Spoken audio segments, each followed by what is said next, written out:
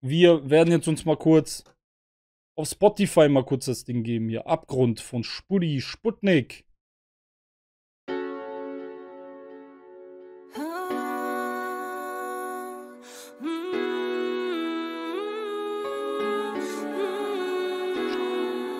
Alles kann so schnell zu Ende gehen. Gestern noch gestanden in der Blüte des Lebens, von heute auf morgen am Abgrund stehen.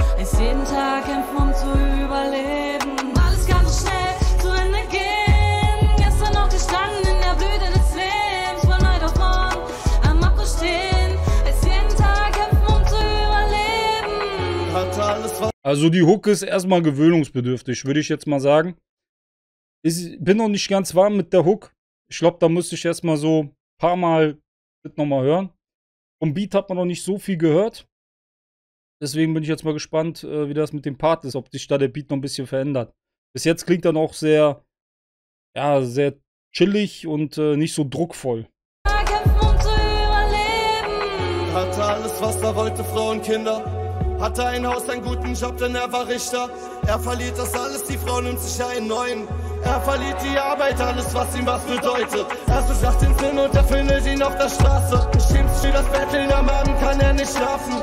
Er fängt an zu trinken, erst einen, dann sind es zwei Weine. Er hat kein Vertrauen und möchte lieber allein bleiben. Müde durch die Nacht immer auf Suche nach Essen. Menschen schmeißen alles weg, doch er nimmt gerne die Reste. Er fragt Menschen oft nach Geld, aber wird selten beachtet. Er denkt traurig an die Kinder, sie sind heute erwachsen. Er wird doch krank auf der Straße, so viele Ängste und Leid.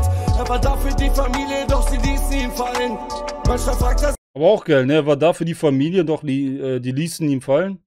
Und äh, ja, der, der singt, der, der singt das so gesehen aus der Perspektive des Obdachlosen und ähm, ja, der geht da schon gut, gut in die ganze Materie rein.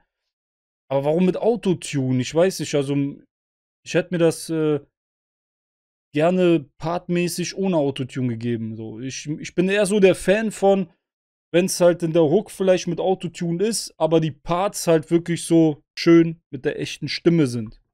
Sich, was hat er Schlimmes getan? Warum hat ihn dieses Leben auf den Boden geschlagen? Alles kann so schnell zu Ende gehen. Gestern noch gestanden in der Blüte des Lebens, von heute auf morgen am Abgrund stehen. Ist jeden Tag kämpfen, um zu überleben. Alles kann schnell zu Ende gehen. Gestern noch gestanden in der Blüte des Lebens, von heute auf morgen am Abgrund stehen. Ja, das, was mich halt ein bisschen an der Hook stört, ist jetzt nicht der Gesang, sondern dass sie halt ihr Mund nicht ganz aufkriegt. Ja, am Abgrund stehen.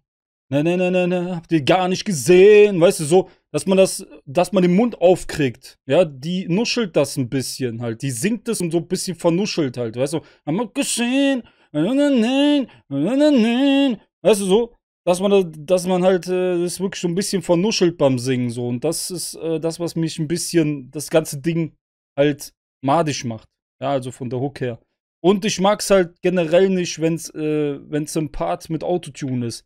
Ich mag's so im Hintergrund, ja, vielleicht äh, als Adlib nochmal so, dass das ein Adlib nochmal ein bisschen so mit reinkommt oder die Stimmung nochmal ein bisschen hebt, äh, wenn's gerade in die Hook reingeht und sowas, aber in der Hook, wie gesagt, gefällt mir das halt nicht, weil die halt äh, ihr Mund nicht aufkriegt und es halt ein bisschen vernuschelt klingt. Und äh, ja, manche mögen diesen Nuschel-Style, manche halt nicht so. Ich bin halt äh, in diesen Topf reingegangen, so, wo ich halt äh, den Nuschel-Style nicht so feier. Ich mag es halt eher, wenn man es direkt hört, ja, so dass man ohne Nuscheln. Sich abends in den Dreck unter die Brücke zum Schlafen. Manchmal ritzt er seine Arme, um den Schmerz zu ertragen. In seinem Spiegelbild, da sieht er einen gebrochenen Mann. Von den Menschen ignoriert oder sie spucken ihn an. Die Straße machte ihn zu einem anderen Mensch. Er hat schon lange keine Kraft mehr und will alles beenden. Er sah viele Menschen draußen auf der Straße erfrieren. Sie sind nicht mehr aufgestanden, einfach liegen geblieben. Er denkt alles nur ein Traum und er wacht irgendwann auf. In seinem alten Haus zwischen Kindern und Frau. Er würde gern mal wieder laufen, doch die Beine sind taub. Seine Frau hat ihm sein Leben und das Lachen geklaut. Er war ein gläubiger Mensch und hat an Karma geglaubt. Aber auch gut, ne? So, ähm, doch, äh, die haben, seine Frau hat ihn das Lachen und, äh, was, was hat ihn noch geklaut hier? Warte. Seine Frau hat ihm sein Leben und das Lachen geklaut. Hier, seine Frau hat ihm das Leben und das Lachen geklaut. Ja. Aber guck mal, ähm, da gehören immer zwei Leute dazu. Und ähm, klar, man kann da noch ein bisschen was reininterpretieren und sowas, ja. Und ähm, ich frage mich dann einfach nur so, äh, es geht aber nicht immer nur darum, dass man den einen die Schuld gibt, ja, sondern dass man halt sagt, warum ist das überhaupt passiert so und äh, dat, zu sowas gehören immer zwei Parteien, ja. Das heißt, es gehören immer zwei Leute dazu. Also ich denke mal, die alleinige Schuld liegt nicht nur bei der Frau so, weißt du, was ist denn überhaupt, wenn, wenn der Mann, der Mann trägt da auch eine Mitschuld, ja, vielleicht haben die sich gestritten oder irgendwas oder ihm ist die Hand ausgerutscht, keine Ahnung was, ne? aber sie, am Ende sucht man sich halt immer den Schuldigen raus so und ähm, das ist halt der falsche Weg, ja. Man sollte eigentlich so bei sich selber halt, äh, halt erstmal gucken, ja, dass man erstmal mit, mit sich selbst reinkommt, so. Und hey, ich verstehe das sowieso nicht, dass man in Deutschland so, ist es eigentlich, äh, muss man gar nicht auf der Straße hungern, man muss normalerweise gar nicht auf der Straße leben, so, ja. Also gesehen, ne, man hat, man hat Möglichkeiten, ja. Hier ist es anders als wie in dritten Weltländern so. Und ähm, ich, ich verstehe es nicht, Mann. Also, das ist halt so eine Sache, ne? So jeder sucht sich ja sein, seine Sache ja aus, ja. Er war ein gläubiger Mensch und hat an Karma geglaubt. Dass seine Frau zu Hause glücklich, er verloren da draußen. Hat sein Leben gehasst, aber es keinen erzählt. Und eines Tages springt er dann von einer Brücke und geht. Er hat sein Leben gehasst, er beendet sein Leben. Er blickt über die Stadt von einer Brücke und geht. Von einer Brücke und geht. Ja, ist halt ähm, ein sehr trauriges Ende auch, ne, dass er sich dann das Leben nimmt, anstatt dass er irgendwie am Ende vielleicht, ähm, ja, aus der ganzen Sache irgendwie sich rauskämpft, ja, auf einmal nicht mehr der Alkoholiker ist, dann vielleicht, äh, weiß nicht, eine eigene Wohnung irgendwie, weil ich mag das eher, wenn es positives Ende hat, ja, so Happy Endings, Alter, das ist eher so mein Fall.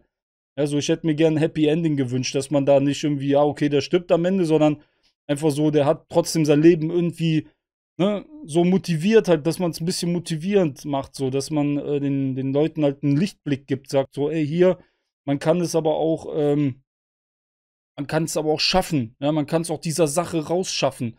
So, es muss ja nicht unbedingt mit dem Tod damit enden, sondern äh, wenn du, wenn du stark an dich glaubst, wirklich dieses Ziel weiter durchziehst, so, ja, wirklich versuchst da aus diesem, aus diesem Loch rauszukommen, so, aus diesem Tief, äh, dann packst du das auch, ja. Und du kannst dann den anderen Leuten ein gutes Vorbild sein, so gesehen, ja, weil du ja die, durch diese ganze Scheiße ja gegangen bist.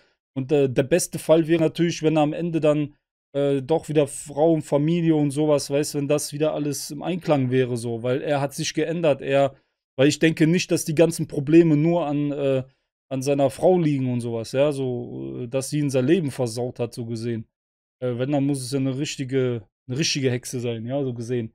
Weil es gibt natürlich Frauen so, ne, aber da, da muss man halt ähm, aber auch nicht verallgemeinern, weil das ist wirklich nicht äh, oft so. Äh, es gibt halt Frauen, wenn, deswegen ähm, sage ich auch immer Ehevertrag, Alter. Ehevertrag, ja. Wenn du kein Ehevertrag, wenn du richtig Kohle hast, machst keinen Ehevertrag, ey, dann hast du, dann bist gefickt, ja. Weil dann kann die wirklich dein Haus beanspruchen, alles, ja. Dann ist diese Frau, die du geheiratet hast und die eigentlich ja so prima und alles war, ist dann nicht mehr da, ist dann einfach nur ein Teufel, ja. Und äh, das hat man schon öfters erlebt, so hat man schon öfters gesehen, dass äh, die dann dein ganzes Leben zerstören können, ja, wenn du denen die Macht gibst, so gesehen. Die können dein Auto nehmen, die können dein Haus wegnehmen, die können deine Kinder wegnehmen, ja, die können alles, ja. So, und das ist, das ist, das ist traurig, das, das ist heftig. So. Alles wie gesagt, ich feiere es richtig, äh, hätte das Ende persönlich auch genauso geschrieben. Also Props gehen raus. Nee, ich hätte das Ende anders geschrieben. Also hätte lieber so ein bisschen motivierend, ja, so eine Story, die ein Happy End am Ende hat.